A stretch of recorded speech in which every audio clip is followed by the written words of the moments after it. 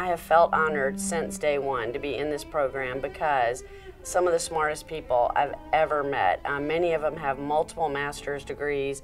Many of them have gone to other countries and helped out in other countries. And um, every day for the first few days of class, I remember being when it was kind of bonding time and getting to know each other. I was totally blown away. I'm in the secondary dual educators program. I'm a first year special education teacher. I'm in the GTEP program. I'm in the Educational Leadership and Policy program with a specialization in post-adult secondary and continuing education. I am in the counselor education program, family and couples track. I'm in a master's uh, program uh, in curriculum and instruction. I'm part of the Leadership for Sustainability Education program. I'm in the master's program in counseling. My program was Educational Leadership, the doctoral program focusing on uh, uh, post-secondary education. I'm in the Administrator Licensure Master's program.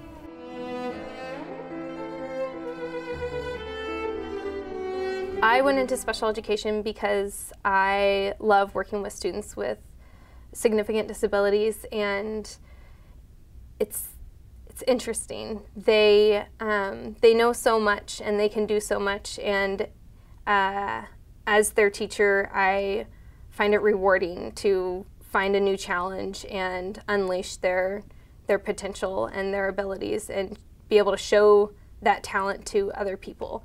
I went into the counseling program. Um, I originally was a teacher, and I really wanted to work with families. I found a lot of the kids I was working with were coming from homes with a lot of abuse or um, emotional, physical um, problems, and I wasn't able to get to them.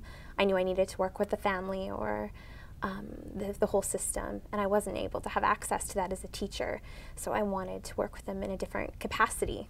I was drawn to the student services field uh, just mainly because of my experience as an undergraduate coming in as a freshman to a new place, new college, not knowing a lot of people, student services really gave me that kind of home and gave me the, the opportunities to be involved. So I was drawn to that to be able to recreate that for upcoming students and new generations of students.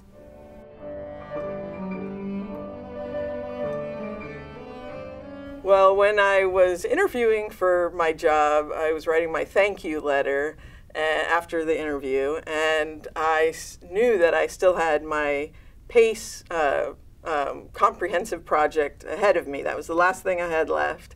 And so I suggested to the um, people who were interviewing that I could do my um, comps project on accessibility in online education. And they really liked that idea.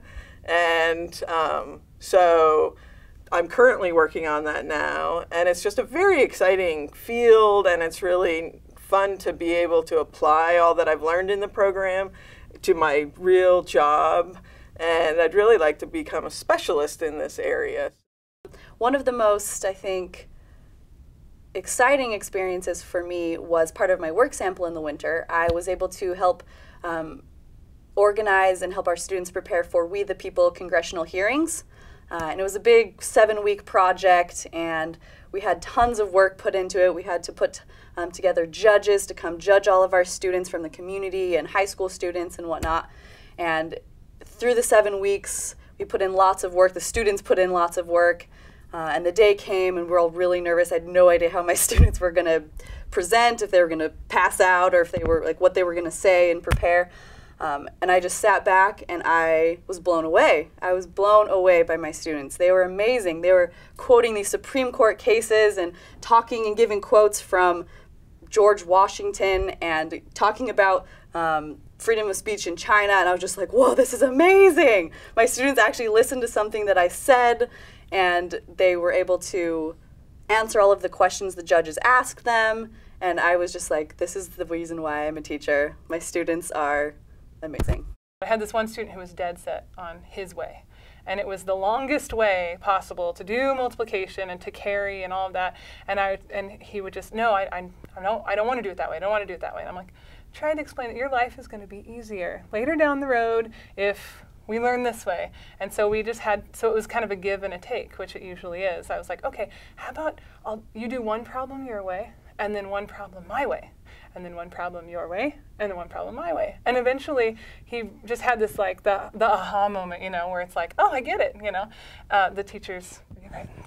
Um, and so he had the aha moment and was like, oh, you're right, this is easier. And he finished the whole worksheet in like five minutes. And it usually took him like the whole class period to do two. And so, so it was just one of those moments where it was just like, not only can I adapt how I teach to meet you in the middle and we can work together, but oh, I taught math. One of the most essential parts of the GTEP program for me was classroom management, which was a course taught by Ken Peterson, who just retired. He has us learn a routine with students called appreciations and concerns. And we did this several times in our own classroom with him, where you go around the class and students are allowed to voice appreciations or concerns. And uh, although it sounds silly, uh, one of my students this year, we were going through appreciations and concerns in the school, and they just appreciated me. And it's it's uh, it's almost silly that I would get that much pleasure out of it, but it, it was a student who, you know, perhaps not the highest skilled student, and I don't know exactly how much I was able to impact his educational experience, but the fact that he would volunteer that and just say that he appreciated that I came to the school and, and started working with them just made me feel like a million bucks. I, I, I think the whole way home that day, I was I was grinning un, uncontrollably.